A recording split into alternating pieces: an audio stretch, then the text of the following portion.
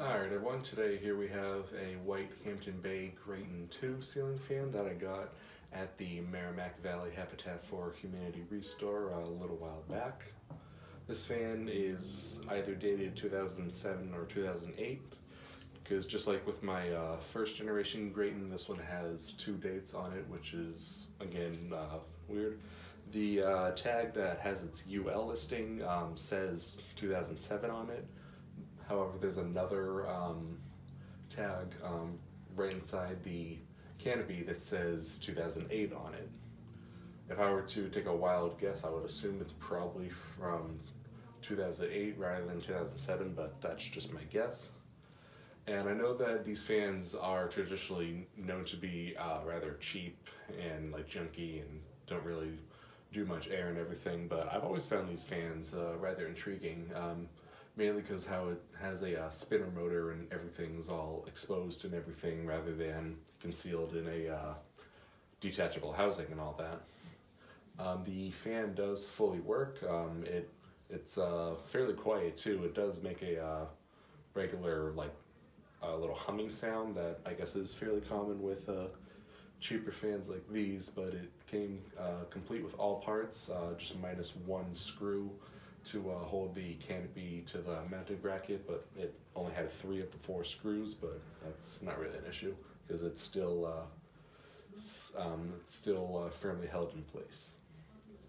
But other than that, the uh, fan uh, runs well. Um, obviously, air moving isn't the best, but it you can still feel some nonetheless.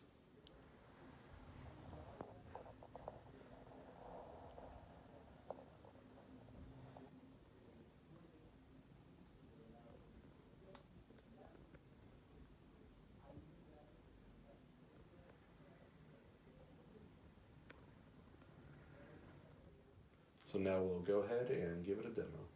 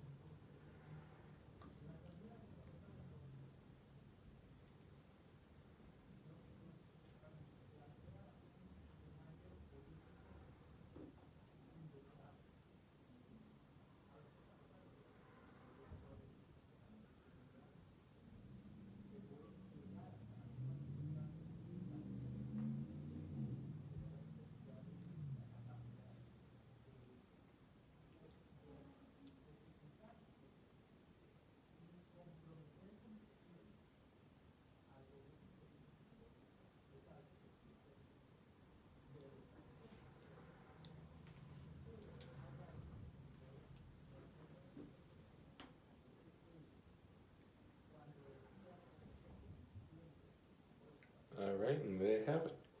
Thank you very much for watching and hope you enjoyed.